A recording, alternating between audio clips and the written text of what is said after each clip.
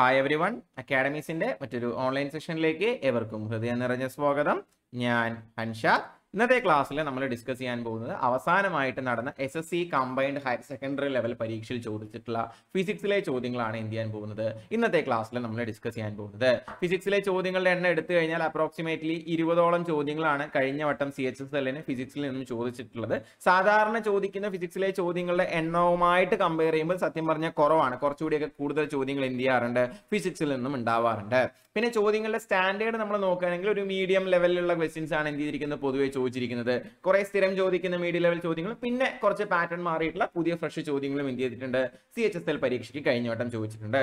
അപ്പൊ ആ ചോദ്യങ്ങളും അതുമായി ബന്ധപ്പെട്ട പ്രധാനപ്പെട്ട വസ്തുതകളും അല്ലെ? ഈ ചോദ്യങ്ങൾ ഇതുപോലെ ആയിരിക്കില്ല ചിലപ്പോൾ ഈ വർഷം റിപ്പീറ്റ് ചെയ്യുന്നുണ്ടാവും. അതുമായി ബന്ധപ്പെട്ട ഫാക്സിൽ നിന്നോ അല്ലെങ്കിൽ അതിന്റെ ഓപ്ഷൻസിൽ നിന്നോ അതുമായി കണക്റ്റഡ് ഫാക്സിൽ നിന്നോ ഒക്കെ ആയിരിക്കും ഈ വർഷം ചോദ്യങ്ങൾ ചോദിക്കാൻ പോകുന്നത്. സോ അത്തരത്തിലുള്ള കാര്യങ്ങളും ഈ ചോദ്യങ്ങളും ഈ ഉത്തരങ്ങളുമാണ് എന്ത് ചെയ്യാൻ പോകുന്നത്? ഈ ക്ലാസ്സിൽ നമ്മൾ ഡിസ്കസ് ചെയ്യാൻ പോകുന്നത്. അപ്പൊ നമ്മുടെ ചോദ്യങ്ങളിലോട്ട് പോകുന്നതിന് മുമ്പ് മറ്റൊരു പ്രധാനപ്പെട്ട കാര്യം കൂടി പറഞ്ഞുകൊണ്ട് അക്കാഡമീസിന്റെ ആൻഡ്രോയിഡ് ആപ്ലിക്കേഷൻ ഇപ്പോൾ ഗൂഗിൾ പ്ലേ സ്റ്റോറിൽ അവൈലബിൾ ആണ്. നിങ്ങൾക്ക് പ്ലേ സ്റ്റോറിൽ അക്കാഡമീസ് എന്ന് സെർച്ച് ചെയ്താൽ കിട്ടും. ഇല്ലെങ്കിൽ ഡൗൺലോഡ് ചെയ്യാനുള്ള ലിങ്ക് ഞാൻ താഴെ ഡിസ്ക്രിപ്ഷനിൽ പ്രൊവൈഡ് ചെയ്യുന്നുണ്ട്. അതിനകത്ത് സി എച്ച് എസ് എല്ലിന്റെയും എം ടി എസിന്റെയും എല്ലാം കംപ്ലീറ്റ് കോഴ്സ് നമ്മൾ പ്രൊവൈഡ് ചെയ്യുന്നുണ്ട്. എസ് എസ് സി എക്സാംസിനെ സംബന്ധിച്ചിടത്തോളം വിത്ത് ലൈഫ് ടൈം വാലിഡിറ്റി ഇതിന്റെ കൂടുതൽ ഡീറ്റെയിൽസ് അറിയാനായിട്ട് നിങ്ങൾക്ക് ഈ നമ്പറിൽ വാട്സപ്പിലോ ടെലിഗ്രാമിലോ അല്ലെങ്കിൽ നേരിട്ട് വിളിച്ച് എന്ത് ചെയ്യാവുന്നതാണ്? നമ്മളെ കോൺടാക്ട് ചെയ്യാവുന്നതാണ്. അപ്പോൾ നമുക്ക് ഐശ്വര്യമായിട്ട് ഇനി ഇങ്ങോട്ട് പോവാം? നമ്മുടെ ചോദ്യങ്ങളിലേക്ക് പോവാം. ആദ്യത്തെ ചോദ്യം നല്ലൊരു ചോദ്യമാണ് which of the following is measured in the unit called gauss gauss എന്ന് പറയുന്ന യൂണിറ്റിൽ നമ്മൾ മെഷർ ചെയ്യുന്നത് എന്താണ് എന്നാണ് ചോദിച്ചിട്ടുള്ളത്. സ്ഥിരം ചോദിക്കുന്ന യൂണിറ്റ് ചോദ്യങ്ങളിൽ നിന്നും മാറിയിട്ടുള്ള ഒരു ചോദ്യമാണ്. നല്ലൊരു ചോദ്യമാണ്. ഇനിയും ഒരുപാട് ചോദിക്കാൻ സാധ്യതയുള്ള ഒരു ചോദ്യമാണെന്ന് എന്ത് ചെയ്യുക? നോട്ട് ചെയ്ത് വെക്കുക. ഇപ്പൊ ഗോസ് എന്ന് പറയുന്ന യൂണിറ്റിൽ നമ്മൾ മെഷർ ചെയ്യുന്ന എന്താണ് എന്ന് ചോദിച്ചു കഴിഞ്ഞാൽ നമുക്ക് ഓപ്ഷൻസ് നോക്കിയാൽ മനസ്സിലാവും. അതെന്താണ്? അത് മാഗ്നറ്റിക് ഇൻഡക്ഷൻ ആണ്. ഈവൻ ഞാൻ ഈ പറഞ്ഞതുപോലെ ഒന്നും ഇനിയിപ്പോ മാഗ്നറ്റിക് ഇൻഡക്ഷൻ എന്ന് കേട്ടിട്ട് പോലും ഇല്ലെങ്കിലും നമുക്ക് ഓപ്ഷൻസ് നോക്കിയാൽ നമുക്ക് മനസ്സിലാവുന്ന ഒരു കാര്യമുണ്ട് ന്യൂക്ലിയസിന്റെ റേഡിയസ് മെഷർ ചെയ്യാൻ എന്തായാലും ഗോസ് യൂസ് ചെയ്യുന്നില്ല. മറൈൻ ഡെപ്ത് മെഷർ ചെയ്യാൻ കടലിന്റെ ആഴം അളക്കാൻ നമ്മൾ ഗോസ് യൂസ് ചെയ്യില്ല.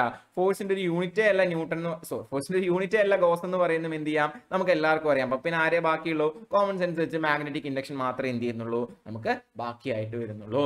എന്തായാലും ന്യൂക്ലിയസിന്റെ റേഡിയസ് കൂടി ഒന്ന് ഒപ്പം ഞാൻ നിങ്ങൾക്ക് പറഞ്ഞു തരാണ്. അതുകൂടി ഒന്ന് ഓർത്ത് വെക്കുക. ന്യൂക്ലിയസിന്റെ റേഡിയസ് എന്ന് പറയുന്നത് approximately ten raise to minus fifteen metre ആണ്. ഈ അടുത്ത് ഏതൊരു പരീക്ഷയ്ക്ക് എന്ത് ചെയ്തിട്ടുണ്ടായിരുന്നു? ചോദിച്ചിട്ടുണ്ടായിരുന്നു. അതുപോലെ മറൈൻ ഡെപ്ത് കടലിന്റെ ആഴം അളക്കാൻ നമ്മൾ ഉപയോഗിക്കുന്ന യൂണിറ്റ് എന്ന് പറയുന്നത് ഫാഥം ആണ് അല്ലെ? ഫാഥം ഇനിയും ഇത് വഴിയെ ചോദ്യങ്ങളായിട്ട് വരുന്നുണ്ട്. എന്തായാലും കടലിന്റെ ആഴം അളക്കാൻ നമ്മൾ ഉപയോഗിക്കുന്ന യൂണിറ്റ് എന്ന് പറയുന്നത് എന്താണ്? ഫാഥം ആണ്. ഫോഴ്സിന് നമ്മൾ പല പല യൂണിറ്റുകൾ യൂസ് ചെയ്യാറുണ്ട്. നേരത്തെ ഞാൻ ടങ് സ്ലിപ്പ് ആയിട്ട് ഓൾറെഡി ഒരെണ്ണം പറഞ്ഞിരുന്നു. ന്യൂട്ടൺ നമ്മൾ യൂസ് ചെയ്യാറുണ്ട്. ഡൈന് നമ്മൾ യൂസ് ചെയ്യാറുണ്ട്. അല്ലെ? ഒരു ന്യൂട്ടൺ എന്ന് പറയുന്നത് ten raise to five dyne ആണ് എന്നൊക്കെ എന്ത് ചെയ്യാറുണ്ട് നമുക്കറിയാം. അല്ലെ? നമുക്ക് അറിയുന്ന കാര്യമാണ്. ന്യൂട്ടൺ ആണ് എന്തെന്ന് പറയുന്നത്? എസ് ഐ യൂണിറ്റ് എന്ന് പറയുന്നത്. ഇനിയും ചോദിച്ചു കഴിഞ്ഞാൽ ന്യൂട്ടൺ എന്ന് പറയുന്നത് എന്താണ്? കിലോഗ്രാം മീറ്റർ പെർ സെക്കൻഡ് സ്ക്വയറിനെ നമ്മൾ ചുരുക്കി ഒറ്റ വാക്കാക്കി വിളിക്കുന്നതാണ് ഇതെന്ന് പറയുന്നത്? നമ്മുടെ ന്യൂട്ടൺ എന്ന് പറയുന്നത്. അപ്പൊ നമ്മൾ എന്തൊക്കെയാണ് പി ക്ലാസ്സിൽ പഠിച്ചത്? ഗോസ് എന്ന് പറയുന്നത് നമ്മളെ സംബന്ധിച്ചിടത്തോളം മാഗ്നറ്റിക് ഇൻഡക്ഷൻ മെഷർ ചെയ്യാനുള്ള യൂണിറ്റ് ആണ്. ഒരു ന്യൂക്ലിയസിന്റെ റേഡിയസ് നമ്മൾ പൊതുവെ എസ് ഐ യൂണിറ്റ് മെഷർ ആയതുകൊണ്ടും ലെങ്ത് നമ്മൾ മെഷർ ചെയ്യുന്നത് മീറ്ററിൽ തന്നെയാണ്. എസ് ഐ യൂണിറ്റ് മീറ്റർ ആയതുകൊണ്ട് നമ്മൾ മെഷർ ചെയ്യുന്നത് മീറ്ററിൽ തന്നെയാണ്. ന്യൂക്ലിയസിന്റെ റേഡിയസ് എന്ന് പറയുന്നത് approximately ten raise minus fifteen metre ആണ്. കടലിന്റെ ആഴം അളക്കാൻ നമ്മൾ ഉപയോഗിക്കുന്ന ഫാഥം എന്ന് പറയുന്ന യൂണിറ്റ് ആണ്. ഫോഴ്സ് നമ്മൾ ന്യൂട്ടണിൽ മെഷർ ചെയ്യും ഡൈനിൽ മെഷർ ചെയ്യും വേറെ ഒരുപാട് എണ്ണം ഉണ്ട് ഒരു ന്യൂട്ടൺ എന്ന് വെച്ച് കഴിഞ്ഞാൽ അത് ടെൻ റേസ് ടു ഫൈവ് ഡൈനിന് ഇക്വലന്റ് ആണ്. ന്യൂട്ടൺ എന്ന് വെച്ചാൽ കിലോഗ്രാം മീറ്റർ പെർ സെക്കൻഡ് സ്ക്വയറിന് എന്ത് ചെയ്യുന്നതാണ്? നമ്മൾ ചുരുക്കി വിളിക്കുന്നതാണെന്നും എന്ത് ചെയ്യുക?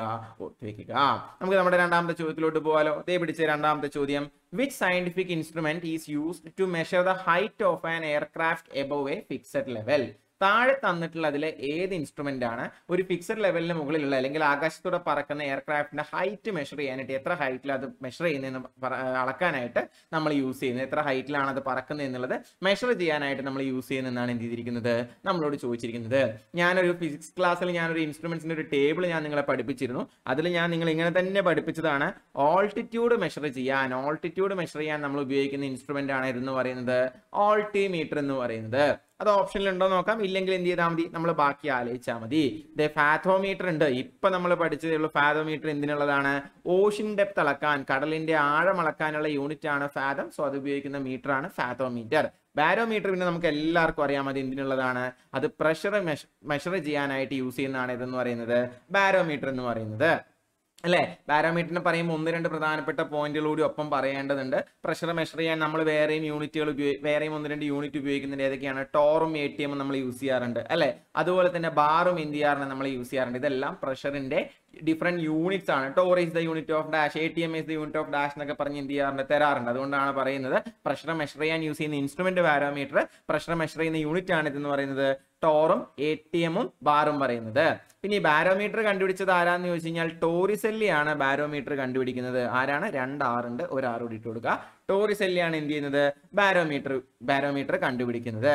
ബാരോമീറ്ററിൽ ഫില്ല് ചെയ്യുന്ന ലിക്വിഡ് ഏതാണെന്ന് ചോദിക്കാറുണ്ട്. ബാരോമീറ്ററിൽ ഫില്ല് ചെയ്യുന്ന ലിക്വിഡ് എന്ന് പറയുന്നത് ഏതാണ്? മെർക്കുറിയാണ് നമ്മൾ ബാരോമീറ്ററിൽ ഫില്ല് ചെയ്യുന്ന ലിക്വിഡ് എന്ന് പറയുന്നത്. അതുപോലെ തന്നെ നമുക്കറിയാം ഒരു ബാരോമീറ്ററിന്റെ സ്കെയിലിന്റെ റീഡിങ് സഡൻ ഫോൾ ഉണ്ടായി കഴിഞ്ഞാൽ ബാരോമീറ്റർ റീഡിങ് പെട്ടെന്ന് താഴോട്ട് വന്നു കഴിഞ്ഞാൽ എന്താണ് കേസ് അതുപോലെ തന്നെ സ്ലോ ഫോൾ ആണെങ്കിൽ പതുക്കെയാണ് താഴോട്ട് വീഴുന്നെങ്കിൽ എന്താണ് കേസ് അതുപോലെ തന്നെ സ്ലോ ആയിട്ട് റൈസ് ആണെങ്കിൽ പതുക്കെ മുകളിലോട്ട് വരികയാണെങ്കിൽ എന്താണ് കേസ് പറഞ്ഞ് മൂന്ന് കേസ് നമ്മൾ പഠിച്ചിട്ടുണ്ട്. മൂന്നും എന്ത് ചെയ്യാറുണ്ട്? ചോദിക്കാറുണ്ട്. അതായത് ബാരോമീറ്റർ റീഡിങ് പെട്ടെന്ന് താഴോട്ട് വന്നു കഴിഞ്ഞാൽ അതിനർത്ഥം എന്താണ്? ഒരു കൊടുങ്കാറ്റ് ഉണ്ടാവാൻ പോകുന്നു എന്നാണ് ആ റീഡിങ് പറയുന്നത്. അതേസമയം പതുക്കെയാണ് വീഴുന്നെങ്കിലോ അത് മഴയ്ക്കാണ് എന്ത് ചെയ്യുന്നത്? സാധ്യത വരുന്നത്. പതുക്കെയാണ് മുകളിലോട്ട് വരുന്നതെങ്കിൽ അതിനർത്ഥം എന്താണ്? വെതർ ഭയങ്കര ക്ലിയർ ആണ്. ഒരു കുഴപ്പമില്ല. നല്ല വെതർ ആണെന്നാണ് എനിക്ക് ഇന്ന് പറയുന്നത്. അപ്പൊ ഇതിനെ മൂന്നിനെയും ബേസ് ചെയ്ത് ചോദിക്കാറുണ്ട്. ബാരോമീറ്റർ റീഡിങ് പെട്ടെന്ന് താഴോട്ട് വന്നു കഴിഞ്ഞാൽ കൊടുങ്കാറ്റാണ്. ഞാനത് ഓർക്കാൻ പറയാറുണ്ട്. നിങ്ങൾ ഒരു ഒരു നമ്മുടെ നാട്ടിലെ മഴയൊക്കെ ഉണ്ടാവുന്ന കാര്യം ആലോചിച്ചാൽ മതി. നല്ല മഴയും കൊടുങ്കാറ്റും ഉണ്ടെങ്കിൽ എന്താ പെട്ടെന്ന് മരങ്ങളൊക്കെ വീഴും. അല്ലെ? കാറ്റൊക്കെ ഉണ്ടെങ്കിൽ മരങ്ങളൊക്കെ സഡൻ ആയിട്ട് പെട്ടെന്ന് ഫോളോ ആവുള്ളൂ. മഴ മാത്രമേ ഉള്ളെങ്കിൽ മരങ്ങളൊന്നും അത്ര പെട്ടെന്നൊന്നും വീഴില്ല അല്ലെ? പതുക്കെ വീഴുള്ളൂ. സ്ലോ ഫോൾ ആണ്. ക്ലിയർ വെതർ ആണെങ്കിൽ എന്താ? സ്ലോ ആയിട്ടുള്ള റൈസ് ആണെന്ന് മെന്റ് ചെയ്താൽ മതി? ഓർത്തു വെച്ചാൽ മതി. അതുപോലെ ഓൾട്ടിമീറ്റർ ഓൾട്ടിറ്റ്യൂഡ് ആണെന്ന് നമ്മൾ പറഞ്ഞു. പിന്നെ വാട്ട് മീറ്റർ എന്തിനാണെന്ന് ചോദിച്ചു കഴിഞ്ഞാൽ നമ്മുടെ എമൗണ്ട് ഓഫ് ഇലക്ട്രിസിറ്റി എത്രയാണ് ഇലക്ട്രിസിറ്റി യൂസ് ചെയ്ത് എന്ന് അറിയാനായിട്ടൊക്കെ നമ്മൾ യൂസ് ചെയ്യുന്ന ഒരു ഡിവൈസ് ആണ് ഇതെന്ന് പറയുന്നത്? അല്ലെങ്കിൽ ഇൻസ്ട്രുമെന്റ് ആണ് ഇതെന്ന് പറയുന്നത്? നമ്മുടെ വാട്ട് മീറ്റർ എന്ന് പറയുന്നത്. അപ്പൊ നാലെണ്ണമാണ് നമ്മൾ പഠിച്ചത്. നാലിന്റെ ഒപ്പം നമ്മൾ കുറച്ച് ഫാക്ട്സ് കൂടി പഠിച്ചു. ഞാൻ ഒന്ന് പെട്ടെന്ന് റിവൈസ് ചെയ്ത് തരാം. ഫാത്തം എന്ന് പറയുന്നത് ഓഷിന്റെ ആഴളക്കാനുള്ള ഇൻസ്ട്രുമെന്റ് ആണ്. ഫാത്തോമീറ്റർസ് ഒബ്വിയസ്ലി ഓഷിന്റെ ആഴളക്കാനുള്ള ഇൻസ്ട്രുമെന്റ് ആണ്. ബാരോമീറ്റർ പ്രഷർ മെഷർ ചെയ്യാനാണ് നമ്മൾ യൂസ് ചെയ്യുന്നത്. പ്രഷറിന്റെ ഡിഫറെന്റ് യൂണിറ്റ്സ് ആണ്. ടോറും എ ടി എമ്മും ബാറും ഒക്കെ ടോറിസെല്ലിയാണ് ബാരോമീറ്റർ കണ്ടുപിടിക്കുന്നത്. അതിൽ ഫില്ല് ചെയ്യുന്ന ലിക്വിഡ് എന്ന് പറയുന്ന മെർക്കുറിയാണ് മെർക്കുറി ബാരോമീറ്റർ ലിക്വിഡ് ബാരോമീറ്റർ ആണ്. ഇനി ബാരോമീറ്റർ റീഡിംഗ് പെട്ടെന്ന് വീണാൽ അതിനർത്ഥം കൊടുങ്കാറ്റ് വരുന്നുണ്ട്. പതുക്കെയാണ് വീഴുന്നെങ്കിൽ മഴ വരുന്നുണ്ട്. സ്ലോ റൈസ് ആണെങ്കിൽ അതിനർത്ഥം എന്താണ്? ക്ലിയർ വെതർ ആണെന്നുള്ളതാണ്. വാട്ട് മീറ്റർ ഇലക്ട്രിസിറ്റിയുടെ എമൗണ്ട് അല്ലെങ്കിൽ എത്ര ഇലക്ട്രിസിറ്റി നമ്മൾ ഉപയോഗിച്ചു എന്ന് അറിയാനായിട്ട് യൂസ് ചെയ്യുന്ന ഇൻസ്ട്രുമെന്റ് ആണ്. പിന്നെ last but not the least നമ്മുടെ ചോദ്യം ഇതായിരുന്നു. ഓൾട്ടിറ്റ്യൂഡ് മെഷർ ചെയ്യാൻ ആകാശത്തൂടെ പോകുന്ന പ്ലെയിനിന്റെ ഓൾട്ടിറ്റ്യൂഡ് ഒക്കെ മെഷർ ചെയ്യാനായിട്ട് നമ്മൾ ഉപയോഗിക്കുന്ന ഡിവൈസ് ആണ് ഇതെന്ന് പറയുന്നത്. ഓൾട്ടിമീറ്റർ എന്ന് എന്ത് ചെയ്യുക. ഓർത്തു വെക്കുക അടുത്ത ചോദ്യം മൂന്നാമത്തെ ചോദ്യം. What is the S I unit for measuring pressure pressure measure ചെയ്യാനായിട്ട് നമ്മൾ ഉപയോഗിക്കുന്ന എസ് ഐ യൂണിറ്റ് ഏതാണെന്നാണ് നമ്മളോട് ചോദിച്ചിരിക്കുന്നത്. ഓൾറെഡി നമ്മൾ ബാരോമീറ്ററിന്റെ കഥ പറഞ്ഞപ്പോൾ പറഞ്ഞിരുന്നു. ബാറും ടോറും എ ടി എം എല്ലാം അറ്റ്മോസ്ഫിയറിക് പ്രഷർ മെഷർ ചെയ്യാനും പ്രഷർ മെഷർ ചെയ്യാനൊക്കെ യൂസ് ചെയ്യാൻ എന്ത് എന്ത് ചെയ്തിരുന്നു? ഓൾറെഡി നമ്മൾ പറഞ്ഞിരുന്നു. ഇവിടെ നമ്മളോട് ചോദിച്ചിരിക്കുന്നത് പ്രഷറിന്റെ എസ് ഐ യൂണിറ്റ് എന്താണ് എന്നാണ് ഡയറക്റ്റ് ആയിട്ട് ചോദിച്ചിരിക്കുന്നത്. നമുക്ക് എല്ലാവർക്കും അറിയുന്നതാണ് പ്രഷറിന്റെ എസ് ഐ യൂണിറ്റ് എന്ന് പറയുന്നത് എന്താണ്? പാസ്കൽ ആണ്. അല്ലെ? പാസ്കൽ ആണ് എന്തിന്റെ എസ് ഐ യൂണിറ്റ് എന്ന് പറയുന്നത്? പ്രഷറിന്റെ എസ് ഐ യൂണിറ്റ് എന്ന് പറയുന്നത്. ഈ കാൻഡേല അങ്ങനെയാണ് ഇത് വായിക്കുക. ഇത് എപ്പോഴും ചോദിക്കാറുള്ള മറ്റൊരു ചോദ്യമാണ്. കാൻഡേല എന്തിന്റെ എസ് ഐ യൂണിറ്റ് ആണ്? ലൂമിനസ് ഇന്റൻസിറ്റി പ്രകാശ തീവ്രതയുടെ എസ് ഐ യൂണിറ്റ് ആണ് ഏതെന്ന് പറയുന്നത്? കാൻഡേല എന്ന് പറയുന്നത്. കെൽവിനൊക്കെ ഞാൻ നിങ്ങൾക്ക് പറഞ്ഞു തന്നാൽ നിങ്ങൾ തന്നെ ഓടിക്കുന്ന എനിക്കറിയാം. എന്നിരിക്കലും ടെമ്പറേച്ചറിന്റെ എസ് ഐ യൂണിറ്റ് ആണ് ഏതെന്ന് പറയുന്നത് കെൽവിൻ എന്ന് പറയുന്നത്. ആംബിയർ എന്താണ്? എല്ലാവർക്കും അറിയാം. ഇലക്ട്രിക് കറണ്ടിന്റെ എസ് ഐ യൂണിറ്റ് ആണ് ഏതെന്ന് പറയുന്നത്? നമ്മുടെ ആംബിയർ എന്ന് പറയുന്നത്. അപ്പോൾ പ്രഷർ മെഷർ ചെയ്യാനുള്ള എസ് ഐ യൂണിറ്റ് എന്ന് പറയുന്നത് പാസ്കൽ ആണ്. അതുപോലെ തന്നെ കാൻഡേല എന്ന് പറയുന്നത് ലൂമിനസ് ഇന്റൻസിറ്റിയുടെ എസ് ഐ യൂണിറ്റ് ആണെന്നും കൂടി എന്ത് ചെയ്യുക? ഓർത്തു വെക്കുക. ബാക്കിയുള്ളതെല്ലാം എന്ത് ചെയ്യുന്നതാണ്? നമുക്ക് അറിയുന്നതാണ്. വേണമെങ്കിൽ ഒരെണ്ണം കൂടി ഇടയ്ക്കിടയ്ക്ക് ചോദിക്കാറുള്ള ഒരെണ്ണം കൂടി ഞാൻ പറഞ്ഞുതരാം. എമൗണ്ട് ഓഫ് സബ്സ്റ്റൻസ് മെഷർ ചെയ്യാനുള്ള എസ് ഐ യൂണിറ്റ് എന്താണ് എന്ന് ചോദിച്ചു കഴിഞ്ഞാൽ എല്ലാവർക്കും അറിയാം അതെന്താണ്? അത് മോൾ ആണ് M O L mole M O L ആണ് മോൾ ഡേ എന്നാണ് സെലിബ്രേറ്റ് ചെയ്യാറ് എന്ന് ചോദിക്കാറുണ്ട്. മോൾഡേ സെലിബ്രേറ്റ് ചെയ്യുന്നത് ഒക്ടോബർ ഇരുപത്തി മൂന്നാം തീയതിയാണ്. മോൾഡേ സെലിബ്രേറ്റ് ചെയ്യുന്നതും കൂടി എന്ത് ചെയ്യുക? ഒപ്പം ഒന്ന് ഓർത്തു വെക്കുക. അടുത്ത ചോദ്യം നാലാമത്തെ ചോദ്യം. Which of the following is a vector quantity താഴെ തന്നിട്ടുള്ളതിൽ ഏതാണ് ഒരു വെക്ടർ ക്വാണ്ടിറ്റി എന്നാണ് നമ്മളോട് ചോദിച്ചിരിക്കുന്നത്.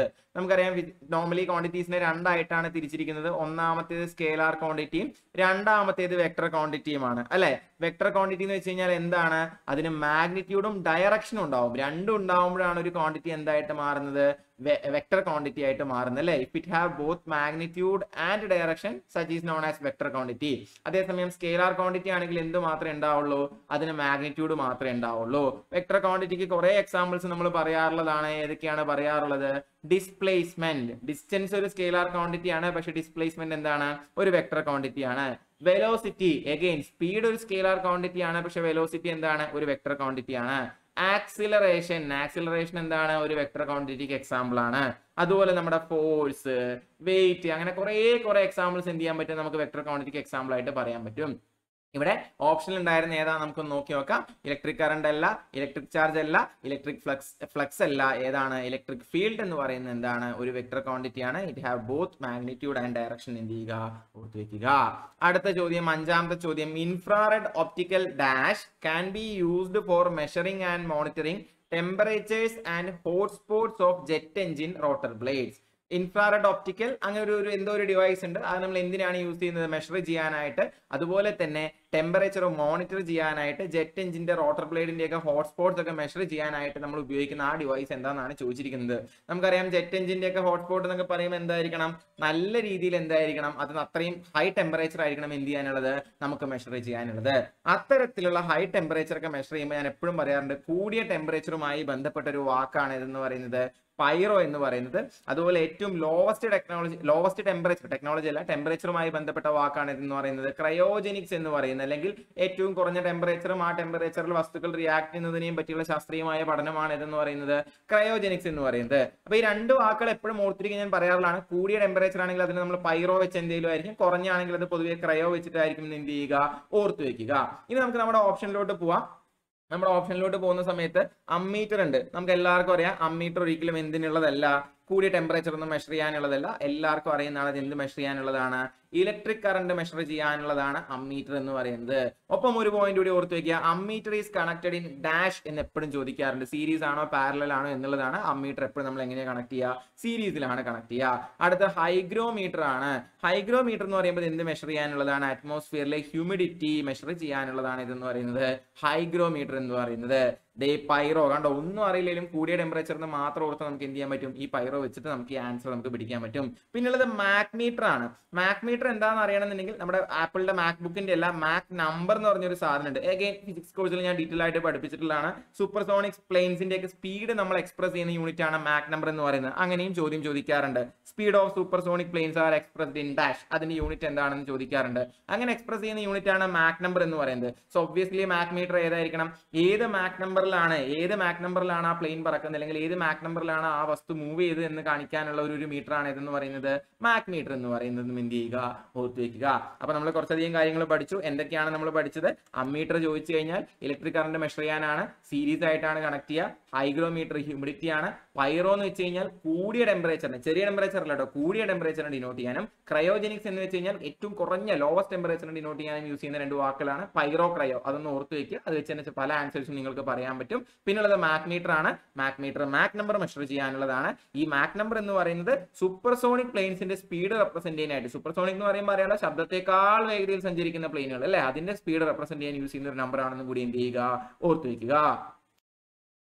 അടുത്ത ചോദ്യത്തിലേക്ക് പോകുന്നതിന് മുമ്പ് ഒരു ചെറിയ കാര്യം നിങ്ങളോട് പറഞ്ഞോട്ടെ. കഴിഞ്ഞ രണ്ട് വർഷങ്ങളിലായിട്ട് നടന്ന S S C C H S L രണ്ടായിരത്തി ഇരുപത് ഇരുപത്തി ഒന്നിലെ എല്ലാ ജി കെ ചോദ്യങ്ങളും നമ്മൾ കളക്ട് ചെയ്ത് സബ്ജക്ട് വൈസ് സോർട്ട് ചെയ്ത് നമ്മളൊരു പി ഡി എഫ് കമ്പൈൽ ചെയ്തിട്ടുണ്ട്. ഏകദേശം ആയിരത്തി ഒരുന്നൂറോളം ചോദ്യങ്ങളും അഞ്ഞൂറോളം റിവിഷൻ പോയിന്റ്സും ഇൻക്ലൂഡഡ് ആയിട്ടുള്ള ഒരു പി ഡി എഫ് ആണ് ഇതെന്ന് പറയുന്നത്. ഇത് തീർച്ചയായിട്ടും S S C C H S എല്ലിനെ prepare ചെയ്യുന്നവരെ നല്ല രീതിയിൽ സഹായിക്കാൻ പോകുന്ന ഒരു പി ഡി എഫ് ആണ്.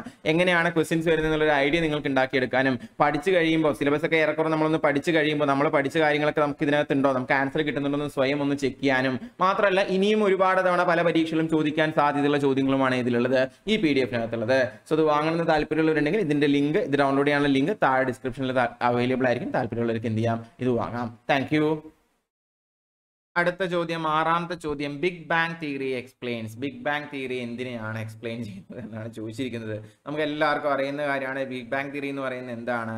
ഈ പ്രപഞ്ചത്തിന്റെ ഉൽപ്പത്തിയെ പറ്റിയിട്ടുള്ള തിയറിയാണ് ഇതെന്ന് പറയുന്നത്. ബിഗ് ബാങ് തിയറി എന്ന് പറയുന്നത് അല്ലെ? അത് ഗാലക്സീസിന്റെ മാത്രമോ സോളാർ സിസ്റ്റത്തിന്റെ മാത്രമോ അല്ലെങ്കിൽ നക്ഷത്രങ്ങളുടെ മാത്രം ഒറിജിനെ പറ്റിയിട്ടുള്ളതല്ല യൂണിവേഴ്സിന്റെ തന്നെ ഒറിജിനെ പറ്റിയിട്ടുള്ള ഒരു തിയറിയാണ് ഇതെന്ന് പറയുന്നത്. ബിഗ് ബാങ് തിയറി എന്ന് പറയുന്നത്. പലപ്പോഴും പരീക്ഷകളിൽ ഈ ബിഗ് ബാങ് തിയറിയുമായി റിലേറ്റ് ചെയ്ത് ചോദിക്കാറുള്ള മറ്റൊരെണ്ണമാണ് father of big bang theory അല്ലെങ്കിൽ father of big bang theory അല്ലെങ്കിൽ father of big bang theory തന്നെയാണ്. ആരാണ് എന്നുള്ളത്? ജോർജ് ലെമറ്റെ എന്ന് പറയുന്ന ഒരു ഒരു ഒരു ഫ്രഞ്ച് പള്ളിയിലച്ചനാണ് എന്ത് ചെയ്തിരിക്കുന്നത്? നമ്മുടെ ഈ ബിഗ് ബാങ് തിയറിയുടെ പിതാവായിട്ട് അറിയപ്പെടുന്നത്. അപ്പൊ ആ പേര് കൂടി ഒന്ന് മനസ്സിൽ ഫീഡ് ചെയ്ത് വെക്കുക. ജോർജ് ലെമറ്റെ ആണ് എന്തെന്ന് പറയുന്നത്? ബിഗ് ബാങ് തിയറിയുടെ പിതാവ് എന്ന് പറയുന്നത്. ഈ L E M A I T R ഫ്രഞ്ചിൽ എങ്ങനെയാണ് വായിക്കാന്ന് എനിക്കറിയില്ല. ഞാൻ എന്തായാലും ലെമത്രെ എന്നാണ് വായിക്കുന്നത്. നിങ്ങളും തൽക്കാലം അങ്ങനെ തന്നെ വായിച്ചു. ആൻസർ അറിഞ്ഞിരിക്കുക എന്നുള്ളതാണ് എന്തെന്ന് പറയുന്നത്. നമുക്ക് ഇമ്പോർട്ടന്റ് എന്ന് പറയുന്നത്. അപ്പൊ നമ്മുടെ അടുത്ത ചോദ്യം ഏഴാമത്തെ ചോദ്യം the inertia of an object is measured by its ഓരോരോ ഒബ്ജക്റ്റിന്റെ ഷേപ്പ് അനുസരിച്ച് വലിപ്പമൊക്കെ അനുസരിച്ച് അതിന്റെ ഇനേർഷ്യ എന്ന് പറയുന്ന എന്ത് ചെയ്യാറുണ്ട്? പലപ്പോഴും മാറ്റം വരാറുണ്ട്. പക്ഷെ എപ്പോഴും ഒരു വസ്തുവിന്റെ ഇനേർഷ്യ ഡിപ്പെൻഡ് ചെയ്യുന്ന രണ്ട് സാധനങ്ങളെയാണ്. അത് എന്തൊക്കെയാണ്? മാസും ആ വസ്തുവിന്റെ റേഡിയസിനെയുമാണ് പൊതുവേ എന്ത് ചെയ്യാറുള്ളത്? ഒരു വസ്തുവിന്റെ ഇനേർഷ്യ ഡിപ്പെൻഡ് ചെയ്യാറുള്ളത്. അപ്പൊ അത് ഏതാണ് ഓപ്ഷനിലുള്ളത് മാസ് ആണോ റേഡിയസ് ആണോ? ഇനിയിപ്പോ രണ്ടും ഉണ്ടോ എന്നുള്ളതാണ് നമുക്ക് നോക്കേണ്ടത്. അത് ഏരിയ അല്ല വോളിയ അല്ല സ്പീഡ് അല്ല. അത് എന്തിനെയാണ് ഡിപ്പെൻഡ് ചെയ്യുന്നത്? മാസ് ആണ് ഓപ്ഷനിൽ റേഡിയസ് ഉണ്ടായിരുന്നെങ്കിൽ അതും എന്ത് തന്നെയാണ്? അതും ശരിയായിട്ടുള്ള ഉത്തരം തന്നെയാണ്. അടുത്ത ചോദ്യം എട്ടാമത്തെ ചോദ്യം. Heat in dash is a type of energy transfer from a warmer substance to a colder one warm ആയിട്ടുള്ള ഒരു സബ്സ്റ്റൻസിൽ നിന്ന് കോൾഡ് ആയിട്ടുള്ള ഒരെണ്ണത്തിലേക്കുള്ള എനർജി ട്രാൻസ്ഫർ ഹീറ്റിന് എനർജി ട്രാൻസ്ഫറിനെയാണ് നമ്മൾ എന്ത് പറയുന്നത്? ഇങ്ങനെ പ്ലെയിൻ ആയിട്ട് ചോദിച്ചു കഴിഞ്ഞാൽ ചിലപ്പോൾ നമുക്ക് പെട്ടെന്ന് ആൻസർ കിട്ടണമെന്നില്ല. പക്ഷെ ഓപ്ഷൻ കണ്ടാൽ ഏത് മണ്ഡലം പറയാൻ പറ്റുന്ന രീതിയിലാണ് തന്നിരിക്കുന്നത്. അതൊരിക്കലും ഫ്രിക്ഷൻ അല്ല അതൊരിക്കലും ഗ്രാവിറ്റി അല്ല അതെന്തല്ല അത് മാഗ്നറ്റും അല്ല ഇത് ചക്കയല്ല ഇത് മാങ്ങയല്ല എന്നൊക്കെ പറയുന്ന പോലെ തന്നെയാണ്. ഇത് ഓപ്ഷനിൽ ആകെ സ്യൂട്ടബിൾ ആയിട്ടുള്ള ആൻസർ എന്ന് പറയുന്നത് ഇത് മാത്രമേ ഉള്ളൂ? തെർമോഡൈനാമിക്സ് മാത്രമേ എന്താവുള്ളൂ? അതിന് സ്യൂട്ടബിൾ ആവുള്ളൂ. നമ്മുടെ കറക്റ്റ് ആൻസർ എന്ന് പറയുന്നത് എന്ത് തന്നെയാണ്? തെർമോഡൈനാമിക്സ് തന്നെയാണ്. അടുത്ത ചോദ്യം ഒൻപതാമത്തെ ചോദ്യം. Which everyday morning ritual is part of quantum mechanics താഴെ തന്നിട്ടുള്ളതിലെ ഏതാണ് ക്വാണ്ടം മെക്കാനിക്സുമായി ബന്ധപ്പെട്ടിട്ടുള്ള ഒരു മോർണിംഗ് റിച്വൽ മോർണിംഗിലെ ആചാരം എന്നാണ് നമ്മളോട് ചോദിച്ചിരിക്കുന്നത്. അത് ringing of an alarm clock ആണ്. ഇത് പറയണമെന്നുണ്ടെങ്കിൽ കുറേ ഡീറ്റെയിൽ ആയിട്ട് ഉള്ളിലോട്ട് പറയാനുണ്ട്. മാത്രമല്ല ഞാൻ ഇതിനെ പറ്റി കുറച്ചധികം ഉള്ളിലോട്ട് നോക്കിയപ്പോൾ എനിക്ക് വായിച്ചിട്ട് പാതി പാതി മനസ്സിലായില്ല. അതുകൊണ്ട് ഞാൻ ഒരുപാട് ഡീറ്റെയിൽ ആയിട്ടൊന്നും പോകുന്നില്ല. ക്വാണ്ടം മെക്കാനിക്സ് എന്ന് പറയുമ്പോൾ നമ്മുടെ പൊതുവെയുള്ള ലേസർ കമ്പ്യൂട്ടർ മൊബൈൽ ഫോണ് ഇതിന്റെ എല്ലാം വർക്കിംഗിൽ എന്ത് ഇൻവോൾവ് ആണ്? ഈ ക്വാണ്ടം മെക്കാനിക്സ് എന്ന് പറയുന്നത് ഇൻവോൾവ് ആണ്. അപ്പൊ അലാറം ക്ലോക്ക് റിംഗ് ചെയ്യുക എന്നുള്ളത് മാത്രമേ ഇതിൽ നമുക്ക് ക്വാണ്ടം മെക്കാനിക്സുമായി ബന്ധപ്പെടുത്തി പറയാൻ പറ്റുള്ളൂ. ചായ വെക്കുന്നതോ പത്രം വായിക്കുന്നതോ പല്ല് തേക്കുന്നതോ ഒന്നും എന്തല്ല. ഇതിൽ നമുക്ക് കറക്റ്റ് ആയിട്ട് പറയാൻ പറ്റില്ല. എഗെയിൻ ഈ സി എച്ച് എസിലെ ചോദ്യങ്ങൾ കാണുമ്പോൾ നിങ്ങൾക്ക് ഇപ്പോൾ ഒരു പാറ്റേൺ മനസ്സിലാകുന്നുണ്ടാവും ക്വസ്റ്റ്യൻ ചിലപ്പോൾ ടഫ് ആയിട്ട് തോന്നും. പക്ഷേ കറക്റ്റ് ആൻസർ ഒഴികെയുള്ള ബാക്കി ഓപ്ഷൻസ് എല്ലാം നല്ല ഡംബ് ആയിട്ടുള്ളതുകൊണ്ട് നല്ല മണ്ടൻ ഓപ്ഷൻസ് ആയിട്ടുള്ളതുകൊണ്ട് നമുക്ക് ആൻസർ ചെയ്യാൻ എന്ത് വേണമെന്നില്ല. ഒരുപാട് നോളജ് ഒന്നും വേണമെന്നില്ല. കോമൺ സെൻസ് വെച്ച് എന്ത് ചെയ്യാൻ പറ്റും? നമുക്ക് മാർക്ക് ചെയ്യാൻ പറ്റും. സോ ഇതിന്റെ ആൻസർ എന്ന് പറയുന്നത് ഏതാണ്? അലാറം ക്ലോക്കിന്റെ റിംഗിങ് ആണ്. കോണ്ട മെക്കാനിക്സുമായി ബന്ധപ്പെട്ടിട്ടുള്ളത്. എന്ത് ചെയ്യുക? ഓർത്തു വെക്കുക അടുത്ത ചോദ്യം which of the following quantities measured using a torsion balance നല്ലൊരു ചോദ്യമാണ് അധികം അങ്ങനെ ചോദിച്ച് കണ്ടിട്ടില്ലാത്തൊരു ചോദ്യമാണ് അതുകൊണ്ട് തന്നെ നോട്ട് ചെയ്ത് വെക്കുക. ടോർഷൻ ബാലൻസ് എന്ന് പറയുന്നത് ഇതുപോലൊരു ഡിവൈസ് ആണ്. ഈ ഡിവൈസ് യൂസ് ചെയ്ത് അല്ലെങ്കിൽ ഈ ഇൻസ്ട്രുമെന്റ് യൂസ് ചെയ്ത് നമ്മൾ മെഷർ ചെയ്യുന്നത് എന്താണ് എന്നാണ് നമ്മളോട് ചോദിച്ചിരിക്കുന്നത്. ടോർഷൻ ബാലൻസ് നമ്മൾ യൂസ് ചെയ്ത് മെഷർ ചെയ്യുന്നത് പ്രഷർ അല്ല ചാർജ് അല്ല മാഗ്നറ്റിസം അല്ല ഫോഴ്സ് ആണ് എന്ത് ചെയ്യുന്നത് നമ്മൾ മെഷർ ചെയ്യുന്നത്. കുറച്ചുകൂടി കൃത്യമായി പറഞ്ഞു കഴിഞ്ഞാൽ ടു മെഷർ സ്മോൾ ഫോഴ്സസ് വളരെ ചെറിയ ഫോഴ്സസ് ഗ്രാവിറ്റിയൊക്കെ പോലത്തെ വളരെ അധികം പവർ ഇല്ലാത്ത വളരെ കുഞ്ഞു കുഞ്ഞു കുഞ്ഞു ഫോഴ്സുകളെ മെഷർ ചെയ്യാനായിട്ട് നമ്മൾ ഉപയോഗിക്കുന്ന ഇൻസ്ട്രുമെന്റ് ആണ് ഏതെന്ന് പറയുന്നത്? നമ്മുടെ ടോർഷൻ ബാലൻസ് എന്ന് പറയുന്നത്. സോ ടോർഷൻ ബാലൻസ് കൂളോമൊക്കെ പിന്നീട് കൂളോമൊക്കെ കണ്ടുപിടിച്ചിട്ടുണ്ട്. അതിന് മുമ്പ് ഒരാളുണ്ട്. പക്ഷേ കൂളോമൊക്കെയാണ് അതിന്റെ ഒരു അപ്ഡേറ്റഡ് വേർഷൻ ഒക്കെ ഇൻഡിപെൻഡന്റ് ആയിട്ട് കണ്ടുപിടിക്കുന്നത്. ഇനി ടോർഷൻ ബാലൻസ് എന്തിനാണ് യൂസ് ചെയ്യുന്നത് ചോദിച്ചു കഴിഞ്ഞാൽ വളരെ ചെറിയ ഫോഴ്സ് ഡിറ്റക്ട് ചെയ്യാനും അത് മെഷർ ചെയ്യാനുമായിട്ട് നമ്മൾ ഉപയോഗിക്കുന്ന ഒരു ഇൻസ്ട്രുമെന്റ് ആണ് ഏതെന്ന് പറയുന്നത്? ടോർഷൻ ബാലൻസ് എന്ന് എന്ത് ചെയ്യുക? ഓർത്തു വെക്കുക. അടുത്ത ചോദ്യം പതിനൊന്നാമത്തെ ചോദ്യം. Who among the following introduces the concept of electric field for the first time താഴെ തന്നിട്ടുള്ളതിൽ ആരാണ് ഇലക്ട്രിക് ഫീൽഡ് എന്ന് പറയുന്ന കോൺസെപ്റ്റ് ആദ്യമായി പഠിപ്പിച്ചതെന്നാണ് ചോദിക്കുന്നത്. ഈ വ്യക്തിയുടെ പേര് തന്നിട്ട് ഈ വ്യക്തി കണ്ടുപിടിച്ച കുറെ സാധനങ്ങൾ വെച്ചിട്ട് ഞാൻ ഡീറ്റെയിൽ ആയിട്ട് നിങ്ങൾക്ക് ക്ലാസ് എടുത്തിട്ടുണ്ട്. അയാളുടെ ഇതെല്ലാം ചോദിക്കുന്നതുണ്ട് അതുപോലെ തന്നെ അങ്ങ് ചോദിച്ചു എന്നുള്ളത്. ഇലക്ട്രിക് ഫീൽഡിന്റെ കോൺസെപ്റ്റ് ആരാണ് ആദ്യം പ്രപ്പോസ് ചെയ്തത്? ഇലക്ട്രിക് ഫീൽഡിന്റെ കോൺസെപ്റ്റ് ആദ്യമായി പ്രപ്പോസ് ചെയ്യുന്നത് മൈക്കൽ ഫാരഡേ ആണ് ഇദ്ദേഹം ചെയ്തത് ഇലക്ട്രിക് ഫീൽഡിന്റെ കോൺസെപ്റ്റ് പ്രപ്പോസ് ചെയ്യാന്ന് മാത്രമല്ല വൈദ്യുതിയുടെ പിതാവായിട്ട് അറിയപ്പെടുന്നതും ഇതേ മൈക്കൽ ഫാരഡേ ആണ് ഇലക്ട്രോളജിസിന്റെ നിയമങ്ങൾ കണ്ടെത്തിയതും അല്ലെങ്കിൽ അത് ആവിഷ്കരിച്ചതും ആര് തന്നെയാണ്? മൈക്കൽ ഫാരഡേ തന്നെയാണ്. ഡൈനാമോ കണ്ടുപിടിച്ചത്. ഡൈനാമൈറ്റ് അല്ല പലർക്കും കൺഫ്യൂഷൻ വരുന്നതാണ്. ഡൈനാമൈറ്റ് ഞാൻ തന്നെ ഏതോ ക്ലാസ്സിൽ അറിയാതെ തിരിച്ചു പറഞ്ഞിട്ടുണ്ട്. ഡൈനാമൈറ്റ് കണ്ടുപിടിക്കുന്ന ആൽഫ്രഡ് നോബലാണ്. അതിന്റെ സങ്കടത്തിലാണ് മൂപ്പര് നോബൽ പ്രൈസ് എന്ത് ചെയ്യുന്നത്? നിലവിൽ വരുത്തുന്നത്. അത് ഡൈനാമൈറ്റ് ഇത് ഡൈനാമോ നമ്മുടെ സൈക്കിളിലേക്ക് സൈഡിലുള്ള dynamo mechanical energy electrical energy ആക്കി കൺവേർട്ട് ചെയ്യുന്ന ഡിവൈസ് ആയിട്ടുള്ള ഡൈനാമോ ആ ഡൈനാമോ കണ്ടുപിടിക്കുന്നത് മൈക്കൽ ഫാരഡേ ആണ് അതുപോലെ ഇലക്ട്രോ മാഗ്നറ്റിക് ഇൻഡക്ഷൻ കണ്ടുപിടിക്കുന്നത് മൈക്കൽ ഫാരഡേ ആണ് അഞ്ചും പലവട്ടം ചോദ്യമായിട്ട് വന്നിട്ടുള്ളതാണ്. ഈ ഡൈനാമൈറ്റ് പറഞ്ഞാൽ ആറും പലവട്ടം ചോദ്യമായിട്ട് വന്നിട്ടുള്ളതാണ്. എന്തിനും? മെക്കാനിക്കൽ എനർജി ഇലക്ട്രിക്കൽ എനർജി ഡൈനാമോലെ കൺവേർഷൻ എന്ത് ചെയ്തിട്ടുള്ളതാണ്? ചോദ്യമായി വന്നിട്ടുള്ളതാണ്. ഇപ്പൊ എന്തൊക്കെയാണ് നമ്മൾ പറയുന്നത് മൈക്കൽ ഫാരഡേ എന്ന് പറഞ്ഞാൽ ഇലക്ട്രിസിറ്റിയുടെ പിതാവാണെന്നും ഇലക്ട്രോളിസിന്റെ നിയമങ്ങൾ ആവിഷ്കരിച്ച വ്യക്തിയാണെന്നും ഇലക്ട്രിക് ഫീൽഡ് എന്ന് പറയുന്ന കോൺസെപ്റ്റ് കൊണ്ടുവന്ന ആളാണെന്നും ഡൈനാമോ കണ്ടുപിടിച്ച വ്യക്തിയാണെന്നും ഡൈനാമോയിൽ മെക്കാനിക്കൽ എനർജി ഇലക്ട്രിക്കൽ എനർജി ആയിട്ടാണ് മാറുന്നതും ഇലക്ട്രോ മാഗ്നറ്റിക് ഇൻഡക്ഷൻ കണ്ടുപിടിച്ച വ്യക്തിയാണെന്നും എന്ത് ചെയ്യണം? ഓർമ്മ വരണം. സോ നമ്മളെ സംബന്ധിച്ചിടത്തോളം ഇലക്ട്രിക് ഫീൽഡ് കണ്ടുപിടിച്ച വ്യക്തി മൈക്കൽ ഫാരഡേ. ഒപ്പം തന്നെ ഓർക്കുക ഇലക്ട്രിസിറ്റിയുടെ പിതാവ് ഇലക്ട്രോളിസിസ് കണ്ടുപിടിച്ച ആൾ ഡൈനാമോ കണ്ടുപിടിച്ച ആൾ ഇലക്ട്രോ മാഗ്നറ്റിക് ഇൻഡക്ഷൻ കണ്ടുപിടിച്ച ആളുമാര് തന്നെയാണ്. നമ്മുടെ ഇതേ മൈക്കൽ ഫാരഡ തന്നെയാണ്. കൂളോമയും പാസ്കലിനെയൊക്കെ നമുക്ക് എന്ത് ചെയ്യാൻ അറിയാം? ജോസഫ് ഹെൻറി അത്ര അങ്ങ് പ്രശസ്തനായിട്ടുള്ള വ്യക്തി എന്നല്ല ജസ്റ്റ് കൂളോമും പാസ്കലൊക്കെ എന്ത് ചെയ്താൽ മതി? ഒന്ന് ഓർത്തു മതി. അടുത്ത ചോദ്യം പന്ത്രണ്ടാമത്തെ ചോദ്യം. What does L E D stand for സ്ഥിരം ചോദിക്കുന്ന ചോദ്യങ്ങളിൽ ഒന്നാണ്. എൽ ഇ ഡി എന്ന് വെച്ച് കഴിഞ്ഞാൽ നമുക്കിപ്പോൾ വളരെ കോമൺ ആയിട്ടൊരു ഹൗസ് ഹോൾഡ് ലൈറ്റ് ആയിട്ട് മാറിയിട്ടുണ്ട്. എൽ ഇ ഡിയുടെ ഫുൾ ഫോം എന്ന് പറയുന്നത് ലൈറ്റ് എമിറ്റിംഗ് ഡയോഡ് എന്നാണ്. എപ്പോഴും ചോദിക്കാറുള്ളതാണ്. എൽ സി ഡിയും അതുപോലെ ചോദിക്കാറുള്ളതാണ്. നമ്മുടെ display L C D display ആയിട്ടുള്ള എൽ സി ഡി എന്താന്ന് ചോദിച്ചു കഴിഞ്ഞാൽ അത് ലിക്വിഡ് ക്രിസ്റ്റൽ ഡിസ്പ്ലേ ആണ്. അറിയാത്തവർ നോട്ട് ചെയ്യുക എൽ സി ഡി എന്ന് വെച്ചാൽ ലിക്വിഡ് ക്രിസ്റ്റൽ ഡിസ്പ്ലേയും എൽ ഇ ഡി എന്ന് വെച്ച് കഴിഞ്ഞാൽ ലൈറ്റ് എമിറ്റിംഗ് ഡയോഡും ആണ്. പെട്ടെന്ന് എൽ ഇ ഡി മോണിറ്റർ എന്ന് പറഞ്ഞപ്പോൾ എൽ സി ഡി മനസ്സിലൊന്നപ്പോൾ പറഞ്ഞാണ് എന്താണ് അവർ ഉദ്ദേശിച്ചിട്ടുണ്ടാവുന്നറിയില്ല എന്തായാലും എൽ ഇ ഡിയുടെ ഫുൾ ഫോം എന്ത് തന്നെയാണ്? ലൈറ്റ് എമിറ്റിംഗ് ഡയോഡ് എന്ന് തന്നെയാണ് ഇതിന്റെ ഫുൾ ഫോം ആയിട്ട് വരുന്നത്. എൽ ഇ ഡിയുടെ ഫുൾ ഫോം ആയിട്ട് വരുന്നത്. അടുത്ത ചോദ്യം what is the total charge of an electric dipole ഒരു ഇലക്ട്രിക് ഡൈപോളിന്റെ ടോട്ടൽ ചാർജ് എന്താണ് എന്നാണ് ചോദിച്ചിരിക്കുന്നത്.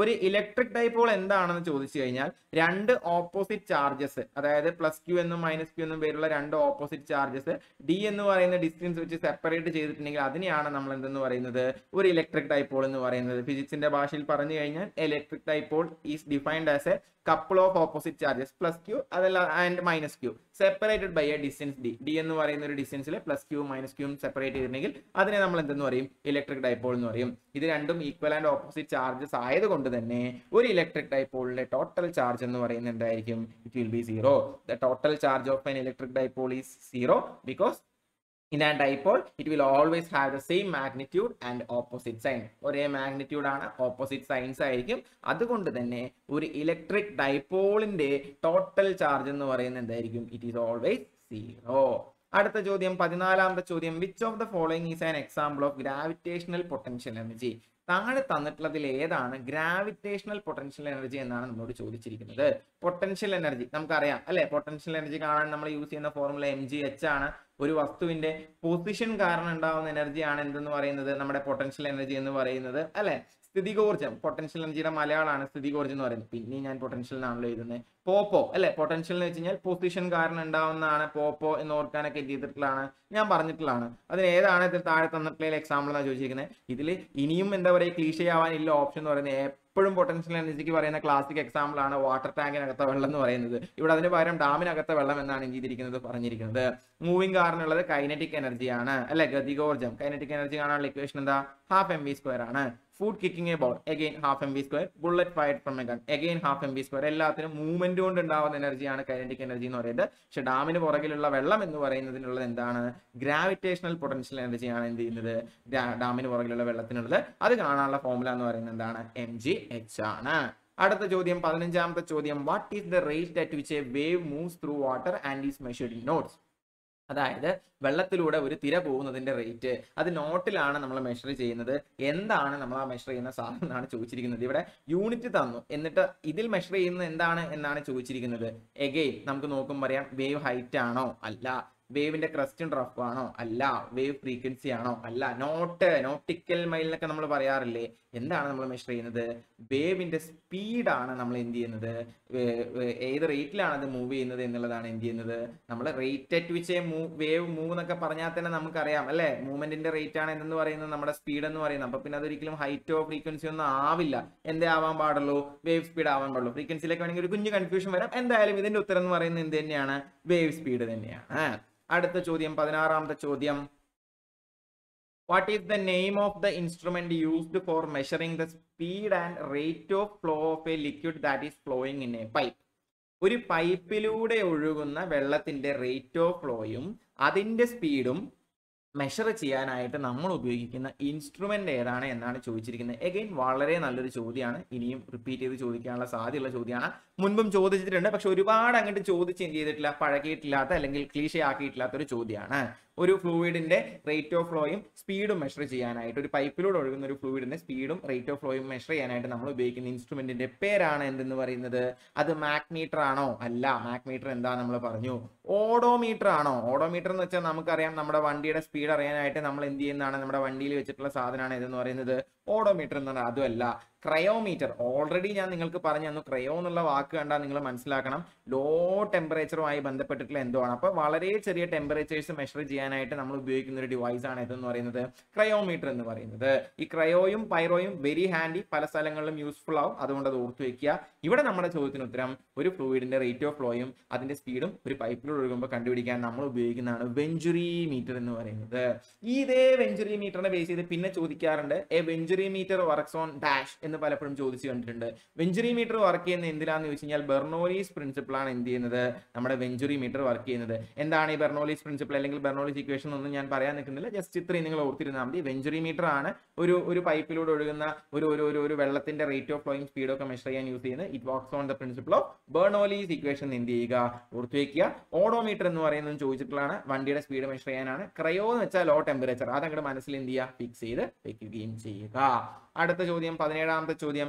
Dash is a discipline of science that studies the original and eventual fate താഴെ തന്നിട്ടുള്ള ഏത് ശാസ്ത്രശാഖയാണ് ഒറിജിനും അതുപോലെ തന്നെ ഇവൻച്വൽ ഫെയ്റ്റിനെയും പറ്റി പഠിക്കുന്നുള്ളതാണ് ഞാൻ ജീവിതത്തിൽ ആദ്യമായിട്ടാണ് ഇത്രയും നല്ല നാല് എന്താ പറയാ ഇത്രയും നല്ല നാല് നല്ല കിഡിലൻ സ്റ്റഡീസ് നമ്മൾ കാണുന്നത് കേട്ടോ. ഇതുവരെ ഇത്രയും നല്ല നാല് കിഡിലൻ സ്റ്റഡീസ് അങ്ങനെ സ്ഥിരം കേട്ടിട്ടുള്ള ഒന്നുമല്ല ഓപ്ഷൻ ഉണ്ടായിരുന്നത്. പക്ഷെ ഇത് നമുക്ക് അഗൈൻ പിക്ക് ചെയ്യാൻ പറ്റും. എന്നാലും കൺഫ്യൂഷൻ വരാൻ സാധ്യതയുണ്ട്. ബ്രോമറ്റോളജി ഞാൻ കേട്ടിട്ടില്ല അതിന് മുമ്പ്. ബ്രോമറ്റോളജി എന്ന് പറഞ്ഞാൽ നിങ്ങൾ ചിലപ്പോൾ പലർക്കും അറിയുന്നുണ്ടാവും. സ്റ്റഡി ഓഫ് ഫുഡാണ് ഭക്ഷണത്തെ പറ്റിയുള്ള ശാസ്ത്രീയമായ പഠനമാണ് ഇതെന്ന് പറയുന്നത്. ബ്രോമറ്റോളജി എന്ന് പറയുന്നത്. അക്കാരോളജി എന്ന് വെച്ച് കഴിഞ്ഞാൽ ടിക്കുകളെ പറ്റിയുള്ള ചെള്ളുകളെയും പേനുകളെയും പറ്റിയുള്ള ശാസ്ത്രീയമായ പഠനമാണ് ഇതെന്ന് പറയുന്നത്. അക്കാരോളജി എന്ന് പറയുന്നത്. ഡെസ്മോളജി എന്ന് വെച്ച് കഴിഞ്ഞാൽ it's a branch of anatomy concerning ligaments അനാട്ടമിയുടെ ഒരു ബ്രാഞ്ചാണ് ലിഗമെന്റ്സിനെ പറ്റി പഠിക്കാൻ നമ്മൾ ഉപയോഗിക്കുന്ന ഒരു ബ്രാഞ്ചാണ് ശാസ്ത്രശാഖയാണ് ഇതെന്ന് പറയുന്നത് ഡെസ്മോളജി എന്ന് പറയുന്നത്. ഇവിടെ നമ്മുടെ ചോദ്യത്തിന് ഉത്തരം എന്താണ്? കോസ്മോളജിയാണ് cosmology is a discipline of science that studies the origin and eventual fate ഒറിജിനും eventual ഫേറ്റും എല്ലാം പഠിക്കുന്ന ശാസ്ത്രശാഖ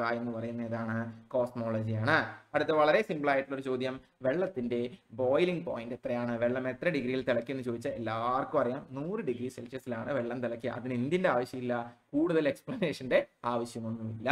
പത്തൊൻപതാമത്തെ ചോദ്യം. Dash is the process of allowing particles in suspension in water to settle out of the suspension under the effect of gravity actually ഇതൊരു കെമിസ്ട്രിയുടെ ചോദ്യമാണ്. കുറച്ചുകൂടി ശരിയാവാം. ഞാൻ പിന്നെ ഇവിടെ ഇട്ടുള്ളതുകൊണ്ട് മാറ്റാനൊന്നും നിർത്തില്ല. എന്തായാലും നോളേജ് ആണല്ലോ അറിവാണല്ലോ. കൂടെ കടന്നോട്ടെ എന്ന് വിചാരിച്ചു. ഒരു വെള്ളത്തിന്റെ സസ്പെൻഷനിൽ വെച്ചിട്ട് ഗ്രാവിറ്റിയിൽ അതിൽ മിക്സ് ആയി കിടക്കുന്ന ബാക്കി ഇമ്പ്യൂരിറ്റീസ് എല്ലാം സെറ്റിൽ ആവാനായിട്ട് നമ്മൾ ഉപയോഗിക്കുന്ന ആ പ്രോസസ്സിന്റെ പേരാണ് ഇതെന്ന് പറയുന്നത്. സെഡിമെന്റേഷൻ എന്ന് പറയുന്നത് അല്ലെ? സെഡിമെന്റേഷൻ സെഡിമെന്റ്സ് എല്ലാം എന്ത് ചെയ്യും? താഴടി മേലെന്ത് ചെയ്യും? നല്ല ക്ലിയർ വാട്ടർ വരും. ആ പരിപാടിയാണ് ഇതെന്ന് പറയുന്നത്. സെഡിമെന്റേഷൻ എന്ന് പറയുന്നത്. അവസാനത്തെ ചോദ്യം. അല്ല അവസാനത്തെ അല്ല സെക്കൻഡ് ലാസ്റ്റ് ക്വസ്റ്റൻ എന്ന് പറയുന്നത്. Which of the following combinations of measures of quantity and unit is not a correct match താഴെ തന്നിട്ടുള്ളതിലെ ഏത് കോമ്പിനേഷൻ ആണ് മെഷർ ഓഫ് ക്വാണ്ടിറ്റിയും യൂണിറ്റും തെറ്റായിട്ടുള്ളത്? എഗെയിൻ ഭയങ്കര കിടിലോ ആയിട്ടുള്ള ഒരു സാധനമാണ് പ്രഷർ പാസ്കല നമുക്കറിയാം. മാസ് കിലോഗ്രാം എന്നറിയാം. ടെമ്പറേച്ചർ കെൽവിൻ എന്നറിയാം. വെയിറ്റ് ക്യൂബിക് മീറ്റർ ഒക്കെ തന്നു നമ്മൾ വിശ്വസിക്കില്ല അല്ലേ? ക്യൂബിക് മീറ്റർ വോളിയം മെഷർ ചെയ്യാനുള്ള സാധനമാണ്. അത് എന്തിനുള്ളതല്ല?